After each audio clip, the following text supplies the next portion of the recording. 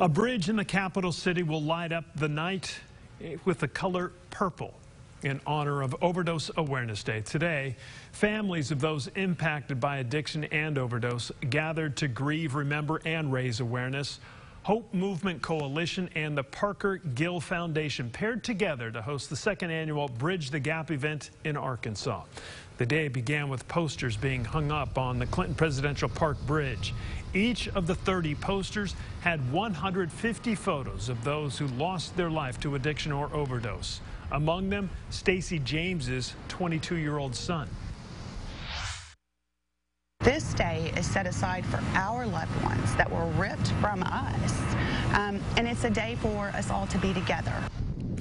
Tonight, family members and those in recovery will join others in a walk to bridge the gap for those who have lost someone to overdose.